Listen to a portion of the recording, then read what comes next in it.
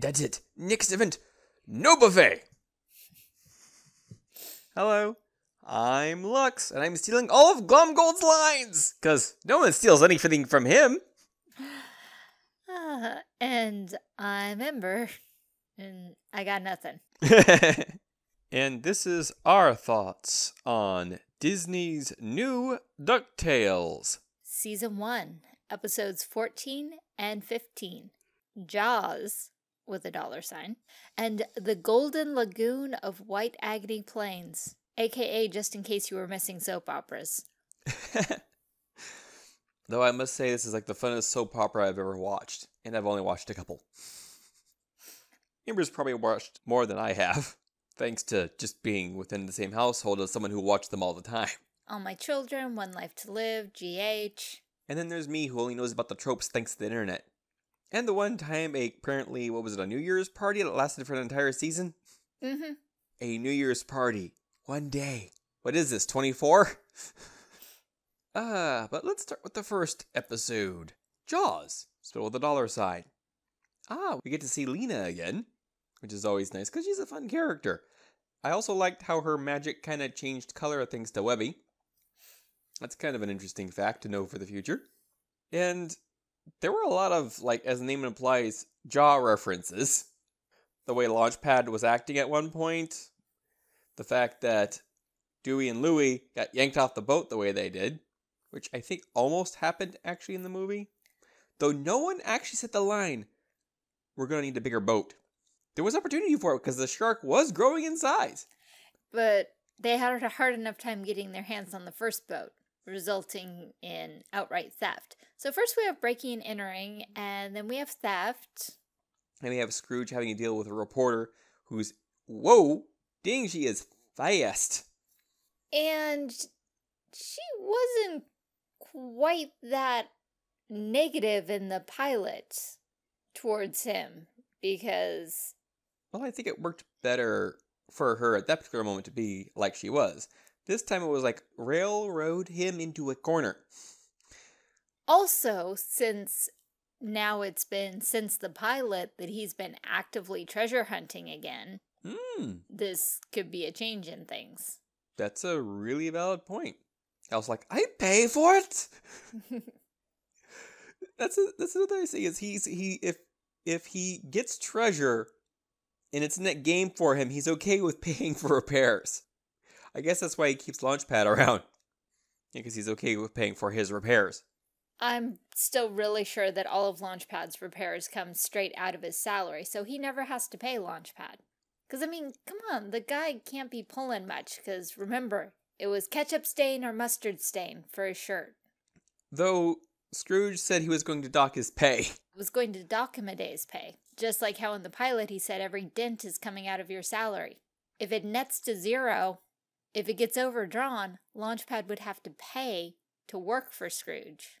I also liked how everyone was like, "Hi," they ended up inside the shark. Yes, every time someone gets swallowed by the shark, it's basically, hi. Yeah, because it's like, how much like a shark is this creature actually? Because is there a digestive tract? Is obviously it's hollow because easier to get larger if you don't focus on filling up a solid mass, but there's not going to be like a digestive tract or anything. It's a magical MacGuffin that eats coins. Also, how can you possibly use a bag of coins as bait when it's swimming in coins? Yeah, what, what does it have to do to gain mass? Because apparently that's what they were waiting for, for it to gain enough mass to be able to hunt down Scrooge. Well, it was basically sorting through all the treasure to find the dime, but the dime wasn't there because Scrooge is smarter than that. I still want to find out what's so important about his dime. What's magical about it? Because that's like probably the one magical thing he has. Also, I love how they in the next episode they keep pointing out how old Scrooge is. But back to this episode, it was just the dime thing kind of got me. Maybe it's just like how old and how long it's been next to him. That's actually absorbed all of his awesomeness. Because we have the story of how he got it. There's nothing particularly magical there beyond the magic of hard work, which any part of his treasure could fall under. So Because it's never really explained in the other cartoon series. You know, what's so important about number one dime. Also, Magica doesn't have an accent this time. At least not the thick one she had in the original series. I was say they didn't do that whole, you know, spell casting backwoods type thing. She sounds very modern. Very. And now I'm wondering more about Lena's past. And how Lena came to be trapped. And how is wanting your freedom a deepest, darkest secret? I'm thinking she's only trapped by the way she thinks. Like she thinks she betrayed someone, or um, it's something like that. It's actually an, an innocent thing, but she was tricked into thinking it was a bad thing. So she's trapped by that. Or she's cursed in some way and she found out about Magica De Spell and is going to use that to get rid of the curse or something like that. Or she blames herself for whatever happened to her family. Random theories, ho! Because Lena keeps saying, yeah, but every time we use magic, bad stuff happens. Because she kept trying to push Webby away from magic even the spell that was going to save them from the shark. Because it was activating because Lena's aura was changing. What's really interesting is she lit up, Webby didn't. Probably because Webby has no innate magical ability, but because they were connected. Like I pointed out before, the color change. Because one was Magica's energy and the other was Webby's energy. Also, apparently, friendship bracelets. Oh, she even called them magical friendship bracelets. I wonder if they were actually magical, like she made them based on something she read in that book. Entirely possible. Also, how is Lena going to explain the bracelet being missing? I mean, it was a good symbolic thing of her taking it off and letting it drown in the water. But as soon as she put it in the water, I'm like, um, the current from there, it's going to end up where Webby is, and Webby's going to find it, and she's going to come out there and think that something really bad happened to you. We'll see. Well, see. It's gonna be interesting because that's another question that popped in my head. It's like next time Lena sees Webby, bracelet. Well, Lena has long sleeves, so the bracelet doesn't show. Also, the entirety of everything that went on with the money shark, I'm pretty sure she can legitimately say she lost it in the scuffle. Yeah, especially the very end was where she probably would have said, "Yeah, it was lost then." There's always so much in these episodes. And also, was Magica's jewel destroyed or was the curse nullified? I'm thinking it was like nullified or something because I think that jewel we see Scrooge pick up. Wrong color. I think it was changed by the spell. So I think it got changed blue after the whole thing. Also, poor Scrooge. I think he lost what? One quarter of a one quarter or one quarter of one quarter of a percent? So about one sixteenth. Because you have to remember that the money bin is only coins, jewels, and artifacts. It's not stocks, it's not bonds, it's not any electronic deposits or balances. You know that the monthly lease payment from the city of Duckburg isn't going in the money bin, it's going in his bank account. Which is another interesting fact we didn't bring up last couple episodes the fact that apparently Scrooge owns the land Duckburg is built on, and the city has to pay him to exist there. The real question is, what will happen if Scrooge ever had to repossess? What about all the people who are living there? What would Scrooge... The logistics alone would cost him more money than just leave him alone. Also, no matter how much we think of it, Scrooge actually has a kind heart, so I don't think he would be cold-hearted enough to go, yeah, y'all are leaving now because the city couldn't pay. Because if he displaced all the townsfolk, okay, one, he wouldn't have access to the goods and services that he needs handy. Two, that's a few thousand more people who want him dead. Though, you know, he doesn't seem to worry too much about that. He's like, yes, if I had a dime for every death curse that I had on me, I'd be a heck of a lot richer. ah, Scrooge. Also, he can't be that against magic. I think he's against using it, but he has plenty of magical things. Go back to the pilot and all the stuff that was in the garage. The Deus Excalibur and the gong and the spirit of Blackbird the pirate, etc. I think he's against using it as a shortcut because that's what he said to Webby apparently. A shortcut to hard work, but magic, depending on how the discipline is presented in a story, can be just as much, if not more work. Hmm. Maybe that's how he got into a disagreement with Magica De Spell. Probably, because the Dispels family thing is magic. What else would you like to go over about this episode? Could you understand what Donald said? I don't know, and I think that's what Lena was also going. Ah. Oh, that's definitely what Lena was doing. But I was like, Donald hasn't had much screen time the past few episodes. Is this like back in the pilot where I wasn't used to listening to him?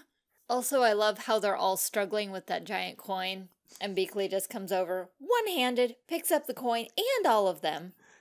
And also going back to the intelligibility of Donald makes you want to go back and watch it with subtitles on.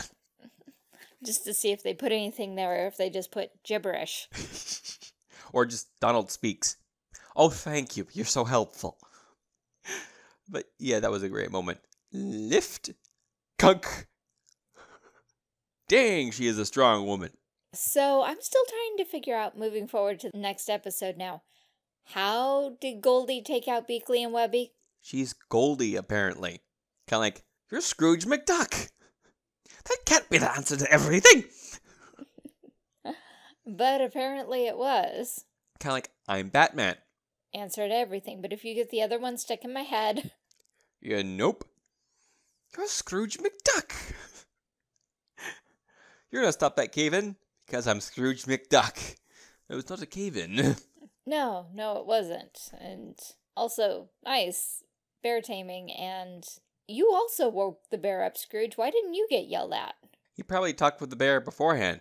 Well, yeah, they would have had to have a nice long conversation in order to do this whole thing of, you know, taking out Goldie, tying her up, tying her to the bear, leading the bear on a rope. Yeah, like I was mentioning before in the previous part, how old is Scrooge? We know both of them, by the way they're talking, is pretty old, at least somewhere in the hundreds at this point. And they just told us now that they spent five years in that ice. So that counts towards your age in terms of the number of years that have passed. But since you were frozen in ice, does that really count towards your chronological age? Because ice is preserving. Also, I think they did mention how a little bit, at least. Apparently, Goldie's been at the Fountain of Youth, and Scrooge apparently has experienced something else similar. Goldie hit the Fountain of Youth, and then uh, Scrooge was talking something about a uh, demon dimension. And I love the banter back and forth between the two of them. It was great. Like, I did this. Oh, I caused that. I must have just missed you. I had this amulet plot device. You know, plot device. I completely forgot about it by the end, though until you were like, "Oh, the amulet." I'm like, "Oh yeah, fireproof." yeah, yeah. No, trust me, they didn't just kill her on air. But even Scrooge temporarily forgot about the amulet. and the way the voice actor was playing Scrooge was fabulous. Just the, oh, she's so awesome.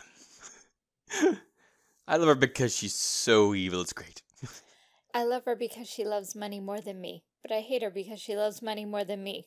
Also, she left me to die. But she knew he was Scrooge, so it would be fine. And that's what ticked him off. Like, you could have freed me. Dang it. Just the fight scene between them and, oh my god, just their interactions made this episode so good. And also, Scrooge stocking up at the buffet. Because Glomgold paid for it, so why not? Yeah. Arch enemy if you can swindle something out of them, go right ahead, even if it's just free food. He's your arch nemesis. Why not? I mean, considering all the times he's tried to blow you up, including on television live. Well, this is embarrassing. so I can't believe he was willing to do that on air. Though apparently he and the reporter get along, so she probably would have done a great job spinning it. Hmm. Oh, that also. His plans always seem to fail because of something like if I put on this, gold will burn you alive. It will be great. Pull, pull, pull. Don't tell me this malfunctioned again. Oh, okay. She's alive? I actually expected her to be like hiding in such a way that you see that she's basically naked because her clothes were burned off, but she was fine. But it kind of makes sense, like like whatever she's wearing also is protected. Because you know it's a kid show kind of like Superman. There's like a layer of invulnerability just a couple millimeters out from his body. Because the suit usually doesn't take battle damage, but it's just store-bought fabric. And then there's Peter Parker. Poor boy. Wonder how often he has to, has to buy new super suits. Because his outfits get shredded. Uh, just reminds me of a quick thing in the movie. The fact that they're like, no, cut out a little bit more. No, how about a little bit more? Eh, a little bit more. and they're at one point they were like, you know, the structural integrity of the suit can't last much more of this. One more cut. And now back to the regularly scheduled episode. And Glomgold and Dewey is just That's worse than me, boy! sorry, can't do it. Uh, anything else you'd like to go over about these fabulous episodes? Yeah, so how hot is molten gold that it's not melting the tubing that it was being piped through and not melting the ship? Also, what's keeping it molten? Hmm, good question. Though I think the tubing was designed to carry molten gold and it was being pumped into a container. But what's keeping the gold molten? If there's something about the lagoon that keeps it molten, why would it stay molten after? Well, it seemed like it was being pumped up into there from the lagoon. So I'm not quite sure what's keeping it molten down there without it being really freaking hot. Because even being in the same cavern with molten gold would probably make you feel like you're standing right next to a furnace. hmm But I'm just saying, the gold around Goldie was solidified because we had that fake statue, but the rest of the gold was still molten. So why would that gold solidify and all the other gold stay molten? Because I'm pretty sure that gold was being pumped, it's still in its molten state from the cavern area into the boat. And the reason the gold from Goldie was solid is because she's been out of the cavern for a while, so it solidified. Also, it'd be pretty easy now that I think about it to actually break out of a gold encasing like that because gold is very soft. So, in case I'm missing anything, I'm pretty sure it's just the fact that it was being pumped in its molten state from down there into the ship. And that's why it was still molten. That substance was still molten compared to what was surrounding Goldie. Fair enough. Also, Glomgold's completely fictitious flashback. that was so awesome. It was even like done in kind of a comic style. Uh, and he's all like buff and everything. Glomgold is a character in a TV show. An awesome character, though I still like Launchpad better. Also, I'm starting to really overanalyze the intro now because it's getting it's getting it's getting ridiculous in my head. Because I'm watching it now, going, I think I'm seeing symbolism in this now. Because at the end, Launchpad saves everyone. Yeah, I see what you're doing there. But how many times have we watched it and I don't remember seeing Lena or Magica? I think it's because those two were also a surprise. But still, nobody watching the intro would have gotten Duckworth out of that ghost demon. Yeah, but I think he was actually. I think there's somewhere. No, it wasn't in the intro. It was something I caught in the preview we saw again. I'm not going to mention it because Ember can assemble things out of thin cloth. Like, oh, there's a small speculation. What do you mean you now have the entire season plot? It goes like this. Watch it. You had 95% of that right. 98. oh yeah, I forgot about that episode. Uh, speaking of episodes, should we? hmm Okay, that was me making a hand motion of. Shall we wrap things up with? What are your final thoughts on these two episodes? Really interesting. Two very different episodes. Because, okay, yeah, we kind of got distracted by the money shark, but Scrooge having to deal with a very real thing of public relations and his public image. Also, Beakley scolding him with a spray bottle. And him acting just like a cat. Though ducks swim. Also, forgot to mention him cutting down the boots to make the spats. He's like, well, in that case, I'll take your best boots and your sharpest knife. Cut, cut, cut, cut. There we go. Wonder what that the lady needs. What lady? Dang nabbit! I love how he moments he sees her in the outfit. Twing! I just love the chemistry between those two. Just this show has so much going on in it. Both episodes were wonderful. I've got ma- so many new things to think about. These, this stuff's gonna come in important later. I just know it. Well, of course it is, because Goldie's off who knows where. And she's practically a female Scrooge McDuck. Except, I think just a tad bit cooler. Just something about her attitude is like, yeah, I like Scrooge, but she rocks. But is backstabbing. Yeah, that, that's that's why it's like, dang, dang, dang it. But it's going to be important because she's going to be nowhere nearby. And somehow that medallion would allow Scrooge to find her. But will it allow any of the boys to find her? Because odds are that the only way Goldie's getting looked up is if there is trouble. And there's going to be trouble because of Magica and Lena. Hmm, good point. So, shall we do our outro? Mm-hmm. And this has been our thoughts on Disney's DuckTale reboot, episodes 14 and 15, Jaws with a dollar sign, and The Golden Lagoon of White Agony Plains. Uh, um, the, the show's over. You can uh, go home now. Oh, you're already at home. That's right, digital streaming and all that. Um, so since you're here, uh, there's some links. You know, there's more artwork, we have more videos, there's commissions, there's Patreon, there's Ko-fi. You know what those are, right? You know, the, the things where you, you give money to people that you may or may not know because you like them or like what they do. Also, commissions, you, you take that picture in your head and you describe it in excruciating detail or less excruciating, and a picture comes back drawn by someone else. Who can draw things from your head. Oh, wait. No, no, no, no. Stop thinking that. Enjoyed this? I mean, you're at the outro. Like I said before, lots of other videos. We have playlists. We even have different source material. Check out Ember's Reading Room, currently broadcasting on Wednesdays. Thank you so much for watching and listening. We appreciate all of the support that we receive in the form of views, likes, comments, dialogue, suggestions, and of course financially as well. But all of it is truly appreciated. Thank you to all of our supporters, subscribers, etc., in whatever form you choose to grace us with your presence.